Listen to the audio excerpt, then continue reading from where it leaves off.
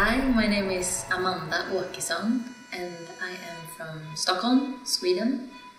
And I just started this company in July. Uh, I've always loved to perform. I think from the beginning I always saw like all the opportunities to be on stage. To come here to Gothenburg, it's a small move for me from Stockholm, but it's uh, quite a big move for me as a person. This company is a very physical company, which really made me want to go here, and it's been a dream. Yeah, amazing dancers.